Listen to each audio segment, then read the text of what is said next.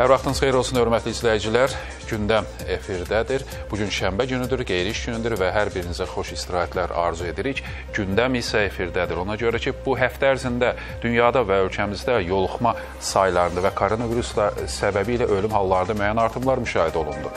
Nə dərəcədə qorxulu, problemli halda istəyərdik ki, bu haqda biz söhbətimizi həkim Aqil Axundovla aparaq. Aqil həkim, xoş gördük sizi. İlkin olaraq dünyanın bu həftə ərzində olan koronavirus mənzərəsinə bir daha diqqət yetirək. Yoluxma saylarında kəskin artımlar oldu. Amma ölüm halları ölkələr üzrə dəyişdi. Avropada deyək ki, minlərin üzərində yoluxma sayı olsa da, amma ölüm saylarında 100-ün altında müşahidə elədik. Belə demək olarsa, ən pis nəticə Rusiyada oldu. Təxminən az qala ölüm sayı gündəlik minə yaxınlaşır. Ümumiyyətlə, bu tendensiya, bu fərqlilik nə ilə bağlıdır sizə? Bir daha minnətdarım dəvətiniz üçün. Belə deyək, hamısını virusun üstünə yıxmaq lazım deyil. Artıq öz işini görüb və bugünkü gün üçün qonaq simasından çıxdı və artıq bir sakin ailə üzvü simasına daxil oldu və e, heç də bizə pis bir şeylər eləmək istəmir. Mən belə fikirləşirəm. E, ölüm saylarının ə, e, artması deməzdim, daha artıq dərəcədə stabilləşməsi və bəlkə də bir qədər azalması. Məsəl üçün bizim müşahidə etdiyimiz ən çox Azərbaycanda gündəlik yoluxma sayının mövcud olduğu noyabr-dekabr 2020-ci ilin noyabr-dekabrında maksimal ölüm sayımız 60 yəni rəsmi rəqəm olaraq 60 kimi göstərilib. Amma bugünkü gün üçün e, tutaq ki, belə demək olar, Rusiya, e, İngiltərə, İspaniya və bir neçə bu cürə ölkələrdə ölüm sayının 25 min, 25, 24-25 min əhatə dairəsində arasında olmağına baxmayaraq Rusiyada ölüm sayı 800-ün altında, 790, 800. Bu ölkələrdə isə adını çəkdiyimiz ölkələrdə isə ölüm sayı 20-30, maksimum 40. Yəni də demək istəyirəm, inanmıram ki, virusun, yəni delta ştam əgər həmən o delta ştamdırsa, delta ştamdır. Orada da bir İngiltərədən başqa o Britaniya ştamı daha çox yayılıb orada o onunla əlaqədar olar, amma bərabər qüvvədə hərəkət eləyirlər hamısı. Bəlkə Rus Rusiyalı kolleqalarımız daha çox yükləniblər. İndi bunu hamımız bilirik də. Bu ölkənin bir başında səhər olanda, gün orta 12 olanda, o birisi başında gecə 12-dir. Rusiyanı nəzər tuturam. Saat qurşaqlarına görə. Bəlkə kolleqalarımız daha çox yükləniblər bir qədər daha çox yorulublar. İş yükü çoxdur, həddindən artıq dərəcədə. Həkim çatışmır. Bunlar ola bilər. Olsun. Yəni Rusiya tibbinə heç də keyfiyyətsiz demək olmaz. Kifayət qədər yüksək səviyyədə olan bir şey. Amma bugünkü gün üçün bu say özü haqqında bir söz deyir.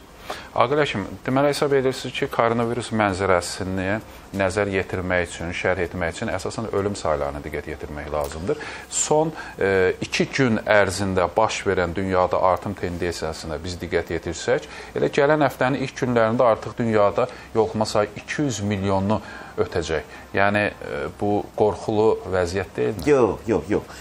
Mən ümumiyyət etibarıyla e, bu çalışıram ki, tibb, təbabət, elm haqqında danışanda nitq hissəsi olaraq sifət istifadə eləməyim. Çünki o yaxşı, pis, qorxulu, qorxusuz, müthiş və ilaxır ki, belə sözlər işlənəndə insanlarda bir qədər ə, qeyri-adekvat qıcıq əmələ gəlir, negativ qıcıq əmələ gəlir. Onlar buna pis reaksiya verirlər və bilmirəm sizi necə amma doktorlarımızı çox qınayırlar buna görə ki, sən məni stressə salırsan deyibən. Biyaqki sözünüzə qayıtmaq istəyirəm. E, ölüm hallarının sayı belə deyək. Ölkədə olan tibbin hər hansı bir problemi qarşılamaq səviyyəsinin göstəricisidir. Bax, yadınıza gəlir yəqin ki, e, 2020-ci ilin mart-aprel ayları Avropa nə vəziyyətə düşdü YouTube ə, kanalında bu kadrlar indiyə qədər qalır. Və sözün düzünə qalanda maksimal şəkildə çalışıram ki, onları az izləyim. Çünki bir mütəxəssis olaraq pis oluram. Mən özümü o doktorun yerinə qoyunca İtaliyadakı həkimlərin, İspaniyadakı həkimlərin, o digər tibb işçilərinin, istər e, tibb bacıları olsun, istər e, kiçik tibb bacıları olsun, o re verdiyi reaksiya kütləvi şəkildə insanların tələf olmağı, xəstəxanalarda yer olmamağı, süni tənəffüs e, avadanlığının olmamağı. Heç kəs buna hazır deyildi. Bugünkü gün üçün bütün dünya bir sonuncu dəfə Hindistanda olan hadisələrə çıxmaq şərti ilə. Çünki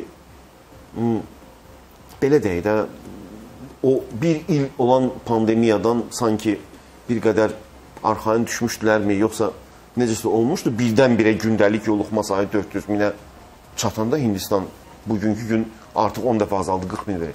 Yerdə qalan bütün ölkələrin hamısında e, artıq bu xəstəliklə e, ölkə rəhbərliyi karantin qaydalarını idarə eləməyi tam rahat bir şəkildə həyata keçirilir.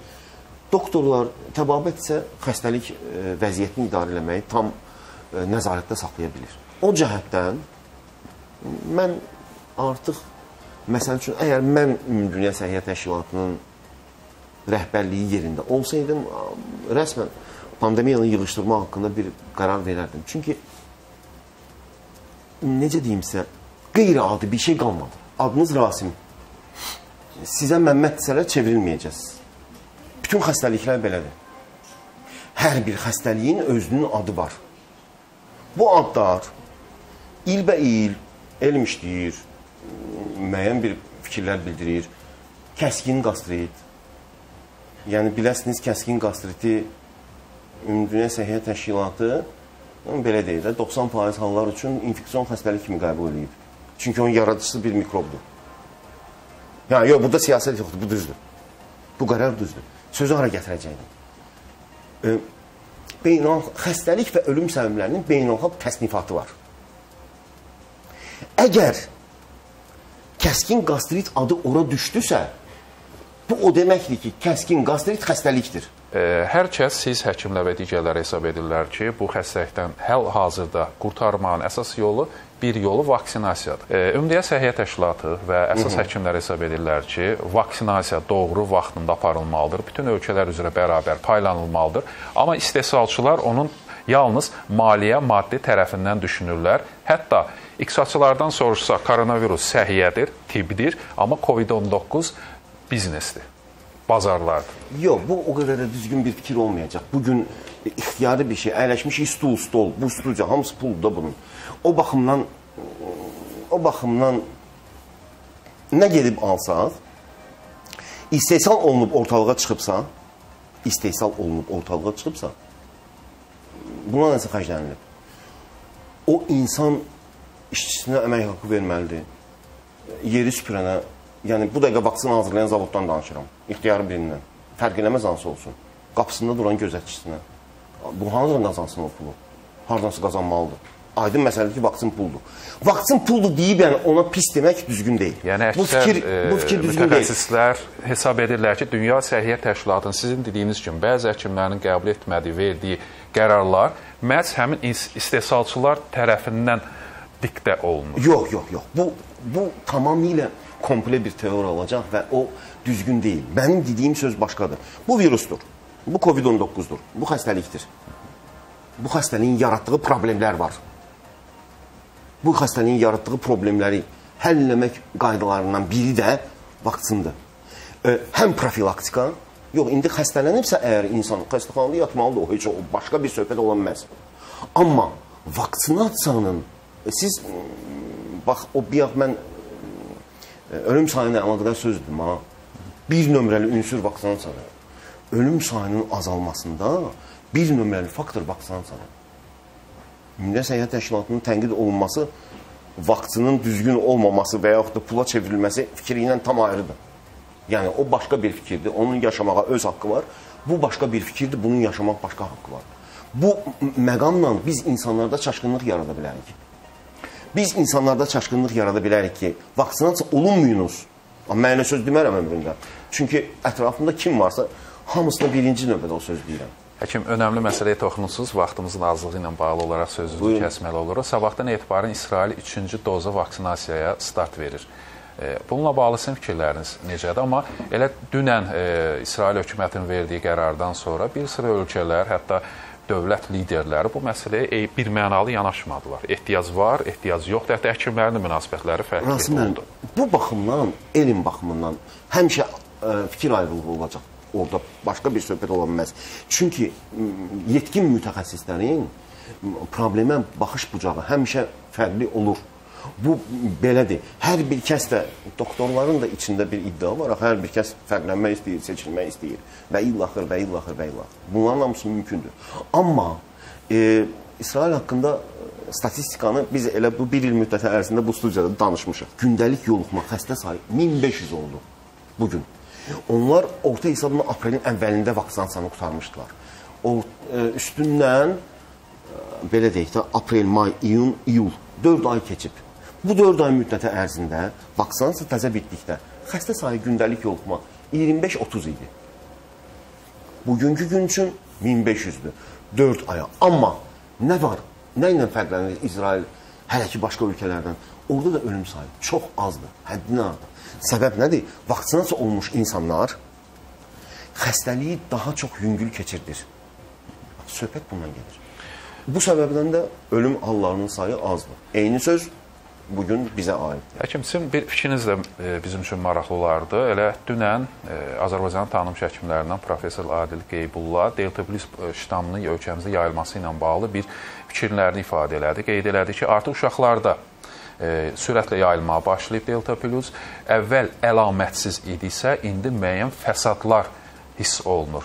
Baxın, sizin müşahidələriniz e, nə deyir? Siz nələri Mən görmüsünüz? sözün düzünə qalanda böyüklərin müalicə edən doktoram. Amma bir ailə xəstələndikcə onu görürəm. Əlamətsiz sözün demək bir qədər düzgün deyil.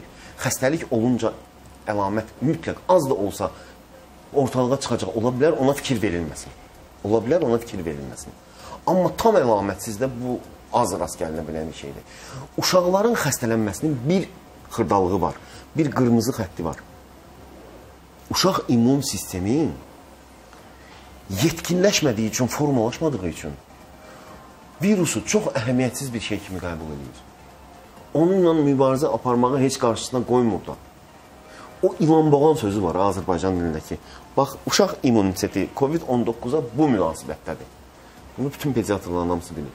O cəhətdən m, belə bir yoluxma sürətinin belə demək mümkünsə artması mı, yoluxma sürətinin artması hələ hələ heç o da görünmür. Çünki virus bu gün indi Azərbaycandan danışaq. Bu gün Azərbaycana gəlincə praktik olaraq səhiyyə tam buna hazır. Həkim, e, Almaniya da dünən son 2 ayın ən e, rekord yoluxma sayı müşahidə olundu. Düzdür, ölüm saylarında sizin dediyiniz kimi elə bir artım olmadı. 50-nin altından. Bəli, elə 50-nin altında da doğru qeyd elədiniz, amma artıq Səhiyyə Nazirliyi 4-cü dalğanın gəldiyini elan elədi. Azərbaycanda bu həftənin əvvəlində 272 yoluxma, dünən 668 yoluxma. 4-cü dalğa bizi gözləyirmi? Bu artıq dalğanın dördüncüsüdür. Biz onun içində yaşayırıq. İndi say sözün düzünə qalanda yəni dalğaların sayı e, fikrimdə qalmayıb. Amma o e, noyabr, dekabr 2000, 2020-ci ildən sonrakı ki tam qapanışlar oldu və yanvarın 18-də e, vaksinasiya başladı, bax say necə düşdü aşağı. Bu günlərin sayının artması yəni bir qrafik çəksək, cədvəl çəksək görəcəyik ki, bu həmən artım yuxarıya doğru getdi. Dalğa ona deyirlər. İnfeksion xəstəliklərin yayılmasının ümumi qaydasıdır. Buna dalğa deyəcəyik. Amma onlar elan ediblər. Bizdə də operativ qərargah yığışdı. Təbib nümayəndəliyə, təbib nümayəndəsi ilə birgə və onlar da belə bir xəbərdarlıq elədilər ki, əgər artım olsa müəyyən şərtlər ciddiləşdiriləcək. Mən onu indi rəsmən çıxıb belə bu dalğadır sözünü deməyin mənası yox, amma ki insanların danışığından yetkin ə, adamlar özləri üçün bir nəticə çıxartsınlar. Həkim, çox minnətdarıq sizə qeyri-iş günündə dəvətimizi qəbul etdiyiniz üçün və bu həftə ərzində dünya və ölkəmizdəki pandemiya mənzərəsinə öz e, pozitiv fikirlərinizi, münasibətlərinizi bildirdiyiniz üçün bir daha təşəkkür edirik. Çox dəvətimizi qəbul etdiyiniz üçün. Bəli, dəyərli izləyicilər, e, bu həftə həm ölkədə, həm dünyada koronavirusla yoluxma hallarında kəskin bir artım müşahidə etsək də, həkimin də qeyd etdiyi kimi qorxmağa ehtiyac yoxdur, amma e, biz müalicəmizi aparmalıyıq, peyvəndimizi qəbul etməliyik. Yoluxma sayları artsa da ölüm saylarında çünki elə bir artım yoxdur. Çünki həkimlərimiz artıq bu xəstəliyi müalicə etmə iqtidarındadırlar. Beləliklə, sağ olun, sağlıqla qalın.